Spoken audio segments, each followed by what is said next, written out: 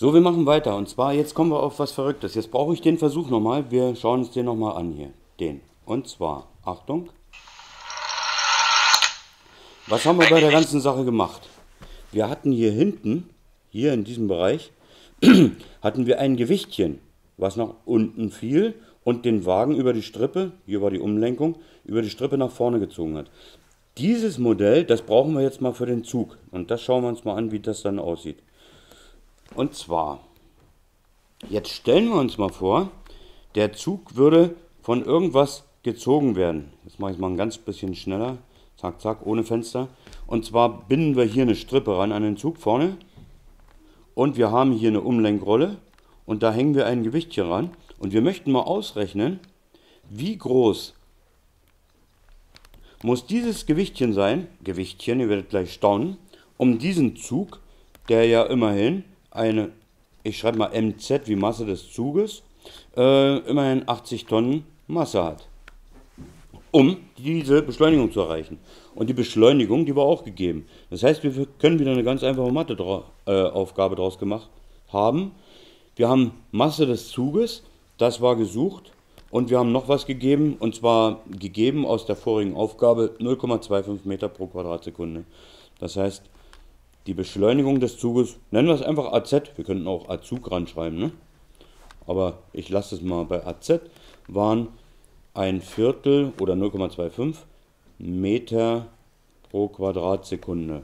So, wenn wir jetzt die Kraft errechnen wollen, müssen wir einfach bloß nochmal gucken, wie war unsere Formel dafür. F ist m mal a. Hm, F ist m mal a. Vielleicht kommen wir ja damit weiter. Ah, Moment, verschrieben. F ist gleich m mal a. Tja, dann setzen wir mal ein. Gesucht ist die Masse. Hm, vielleicht kommen wir ja dahin. Wir errechnen erstmal, wie stark die Kraft sein muss. Und eigentlich wissen wir schon was.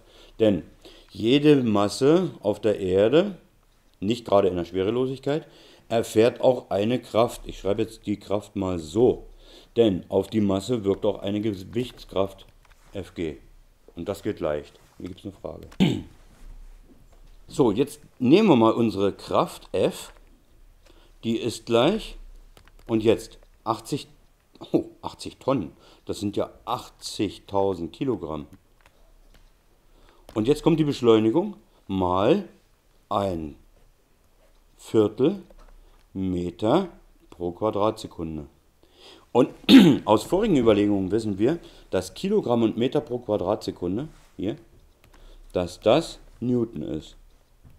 Denn F ist m mal a und F wird eigentlich in Newton angegeben. Also können wir die ganze Sache arg vereinfachen, indem wir sagen, okay, F ist demzufolge, wir rechnen also erst die Gewichtskraft aus und kommen dann auf die Masse. 80.000 und das Viertel, das kann man schon mal kürzen, das ist sehr schön. Und zwar durch 4 ist 1 und durch 4 ist 20.000. Und hinten das gelb unterlegte, das wären Newton. Also, Moment mal, durch 1 mal 1, das kann ich mir schenken. Das sind also 20.000, nee, jetzt kann ich es auch in lila schreiben. 20.000 Newton. Das ist die Gewichtskraft. Hier, wunderbar. Und daraus kann man auch auf die Masse schließen. Und zwar die Masse, wir hatten ja gesagt, das ist jetzt ein bisschen mathematisch ungenau, wir hatten ja gesagt, wenn ich die Kraft durch 10 ungefähr, eigentlich durch 9,81, wir kommen später darauf, teile, dann habe ich den Wert der Masse. Das wäre aber nur pures ohne Werte rechnen. Ähm, das Ganze gilt nur, wenn ich hier Newton habe, also hier in Newton und hier in Kilogramm. 20.000 durch 10 sind 2000 Kilogramm. Masse entspricht das. Also hätten wir m schon ausgerechnet. m ist rund genug, also das reicht, sodass man schon fast sagen kann, ist ausreichend genau 2000 Kilogramm. Jetzt mache ich eine Pause, weil das müssen wir wirklich nochmal durchdiskutieren. Wenn man also, ich fasse nochmal kurz zusammen, wenn man sich also vorstellt, dass irgendeiner da vorne an dem Zug zieht, und zwar so ähnlich wie mit einem Gewicht, dann kann man erstmal die Kraft errechnen, die nötig ist, um den Zug mit einem Viertelmeter pro Quadratsekunde zu, zu beschleunigen. Und er hat ja 80 Tonnen Masse. Und wie viel brauche ich, um das mit dieser Beschleunigung hinzubekommen? Dann komme ich auf 20.000 Newton. Und nochmal aus der Faustformel, wenn ich das hier in Newton angebe, das ist also eine Formel, die sollte man eigentlich nur so mal ganz grob gebrauchen für einen Überschlag. Und das hier in Kilogramm, dann kann ich rund sagen, einfach durch 10 teilen. Genau wäre durch 9,81. Und ich habe gleich die Kilogramm. 2 Kilo, äh, 2000 Kilogramm sind aber 2 Tonnen. So, jetzt diskutieren wir. So, das heißt, wir haben jetzt die ganze Sache nochmal durchdiskutiert. Kann man sich merken, wenn es um Wägelchen geht, die schneller werden sollen. Es können Autos sein, es können, wie in dem Video hier, solche Versuchswägelchen sein, ganz egal. Wenn es um Beschleunigung auf der Ebene geht, das heißt, irgendwie, wenn was Rollendes praktisch schneller wird, dann kann man das sich wunderbar vorstellen, hier vorne zieht irgend so ein Trottel und das machen wir nicht mit Trotteln, sondern das machen wir mit einem Gewicht am besten, eine Umlenkrolle und dann können wir mal die Kraft ausrechnen, wie doll hat denn die Kraft gewirkt. Nochmal, das hieß grundsätzlich, unser Grundsatz war, wenn sich der Bewegungszustand eines Körpers ändert, dann wird er beschleunigt, beziehungsweise er erfährt eine Kraft, die ihn beschleunigt. Jetzt kommt's. Dann kann man doch auch von folgendem ausgehen. Ich stehe auf der Brücke und spucke in den Kahn, da freut sich die Spucke, dass ich Kahn fahren kann. Das meine ich jetzt nicht, sondern ich stehe auf einer hohen Brücke und lasse einen Gegenstand ins Wasser fallen. Ja, habe ich mein Wasser. Da macht es Platsch, wenn er ankommt. Ähm, ich glaube, es kann sich auch jeder Folgendes vorstellen. Das ist eine bestimmte Strecke, die der Gegenstand fällt. Platsch. Und dass diese Geschwindigkeit dieses Körpers ständig schneller wird. Der wird immer schneller. Oder ist das gegen unsere persönliche Erfahrung? Das heißt, da muss irgendein Trottel hier unten im Erdmittelpunkt, ne, wenn man eigentlich mal richtig guckt, haben wir hier unsere Erde, da muss irgend so ein Idiot ziehen.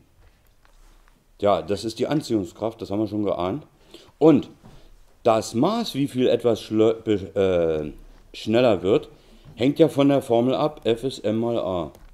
Das heißt, die Anziehungskraft, die Gewichtskraft, sagt man auch, ist abhängig von der Masse des Körpers, hier von meiner m, und hier von der Beschleunigung. Aber das ist eine spezielle Beschleunigung, deswegen schreibe ich nicht m mal a, sondern schreibe ich m mal g. Und g ist ein festgelegter Wert, der ist 9, nicht festgelegt, sondern ermittelter und dadurch allgemein bekannter Wert von 9,81 Meter pro Quadratsekunde. Und jetzt wird auch klar, weshalb ich immer sage, mal, äh, durch 10 mal 10, das geht ungefähr.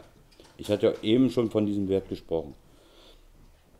So, und jetzt kann man folgendes machen. Jetzt kann man sagen, naja, wenn ich zum Beispiel mal gucke äh, und sage, ich stehe auf der Brücke und spucke einen Kahn und stoppe die Zeit und ich sage die Zeit von hier bis runter bis Platsch, das kann ich von oben beobachten, sind meinetwegen zwei Sekunden, hätte ich auch noch die Zeit gegeben. Und jetzt kann ich mich in meiner anderen Formel erinnern und zwar, wo war sie?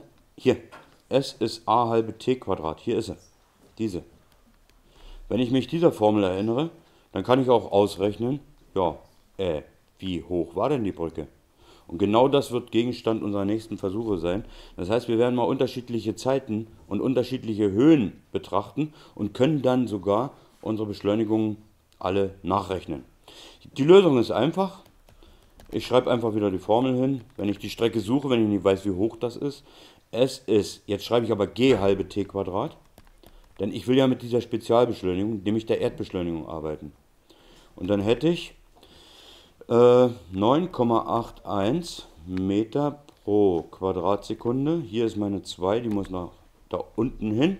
Und jetzt muss ich das Ganze noch mit t Quadrat, also 2 Sekunden zum Quadrat macht 4 Quadratsekunden. Na, dann schreibe ich hier auch Sekunden zum Quadrat, damit es besser auffällt, damit man es nicht mit der Strecke verwechselt. Äh, dann kann ich hier die Quadratsekunden und Sekunden kürzen. Hier sage ich, das sind Sekunden übrig. Hier bleibt eine 1. Jetzt nehmen wir die ganze Sache noch und kürzen hier die 2 und die 4. Und dann hätte ich nach allem 2 mal 9,81, das sind 2, 2 mal 8 sind 16, 218 19,62 Meter. Denn Diese Zahlen bleiben übrig. Diese, diese und Meter bleibt übrig. Nichts anderes. Und eine Strecke wird nun mal in Metern angegeben. Also wäre die Brücke rund 20 Meter hoch. Ganz einfach. Fragen. Na Mensch, und ich habe gepennt. Natürlich. Äh, ich habe doch hier die 4. 2 mal 2 ist 4, ja, aber Sekunden habe ich nicht quadriert. Das heißt, warte mal. Äh, hier müsste oben eigentlich Quadratsekunde gestanden haben und dann bleibt das, äh, fällt es komplett weg. Also nochmal sauber, dann hieße das hier oben und unten wie folgt. Damit das auch deutlicher wird. Ähm, nochmal, hier standen 2 mal 2 ist 4 Quadratsekunden. Und hier unten hatte ich ja Meter pro Quadratsekunde, ganz genau. So, und wenn ich die komplett gegeneinander kürze, dann fallen die komplett raus. Ja, ja, das kommt davon, wenn man schnarcht und pennt. So wie ich gerade eben. So, mit anderen Worten, wir können das ganz schnell ausrechnen. Und dieses Verfahren, das lässt sich super anwenden, wenn wir zum Beispiel auch sagen, äh, und den Versuch werden wir beim nächsten Mal machen. Wir lassen hier oben was aus dem Fenster fallen und wir werden die bestimmte Zeit messen. Also, Schulfenster, ganz einfach, da gucken wir alle raus. So, aus dem anderen Fenster da hinten gucken auch noch welche raus und freuen uns. Und hier aus diesem Fenster hier vorne, da stehe ich und ich schmeiße einen Gegenstand raus. So, unten steht aber einer und misst die Zeit. Der misst, wann ich abwerfe und wann das Ding unten aufkommt. Bumm. Nebenbei. Ganz nebenbei. Ich hatte von der Erdbeschleunigung gesprochen. Es gibt auch eine Mondbeschleunigung, es gibt eine Marsbeschleunigung, eine Sonnenbeschleunigung, eine Jupiterbeschleunigung, eine, eine Beschleunigung, die auf alle Körper zutrifft. Das heißt also, die Anziehungskraft ist auch abhängig, wie groß ist der Körper. Und nebenbei, auf dem Mond, sind wir alle nur ein Sechstel mal so schwer. Wir haben zwar die gleiche Masse, aber wir sind nur ein Sechstel mal so schwer, weil der Mond nur ein Sechstel der Erdmasse ungefähr hat. Das heißt, unsere Kräfte, die wir hier gesammelt haben auf der Erde, auf dem Mond angewandt, wenn wir hier einen Meter aus dem Stand hochspringen könnten, könnten wir aus, auf dem Mond dann höchstwahrscheinlich sechs Meter oder ein Sechstel. Wahrscheinlich sechs Meter hochspringen, ne? Na gut. Okay, das bis dahin. Also das wären unsere nächsten Versuche. Äh, Diskussion weiter. So, wir haben uns mal folgendes überlegt. Ich musste damals in der Armee musste ich aus fünf Metern runterspringen. Mussten wir alle. Und der Sportlehrer wusste, dass nichts passiert. Warum?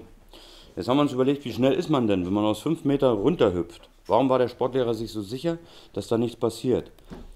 Wenn ich diese Formeln schnappe und sage, ich möchte die Geschwindigkeit ermitteln, habe ich A, das kenne ich, das, sind meine berühmt, das ist mein berühmtes G, dann brauche ich nicht erst extra 9,81 Meter pro Quadratsekunde zu sagen.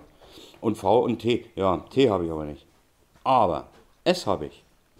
Und dieses habe ich auch. Also können wir doch erstmal ganz schnell ausrechnen. Und jetzt kommt wieder der mathematische Betrug. Ich sage jetzt einfach mal 10 statt 9,81 Meter pro Quadratsekunde. Hier unten schreibe ich meine 2 hin. Und jetzt nehme ich das Ganze mal t Quadrat. S weiß ich aber, also kann ich das auch noch ersetzen. Das sind meine 5 Meter gewesen. Das Ganze umgestellt, jetzt mache ich mal eine Pause, es geht ganz schnell. Wir haben das jetzt mal ganz schnell ausgerechnet dann komme ich auf 10 Meter pro Sekunde. Das entspricht also einer Geschwindigkeit von 36 Kilometer pro Stunde. Ich sage das jetzt mal ganz äh, schnell, ohne das herzuleiten. Das heißt, die Auftreffgeschwindigkeit hier unten waren 36 Kilometer pro Stunde. 36 Kilometer pro Stunde. Das ist gar nicht so schlimm. Wer schon mal mit dem Fahrrad relativ schnell gefahren ist und gestürzt ist, der hat das ungefähr geahnt, was da passiert. Und das kann man überleben. Und wenn man das richtig mit entsprechender Abrolltechnik macht, dann geht das. So, ich mache jetzt das Video an der Stelle erstmal dicht. Das sind solche Betrachtungen. Wie gesagt, wir machen dann Fallversuche aus verschiedenen Höhen und dann kommen wir da drauf.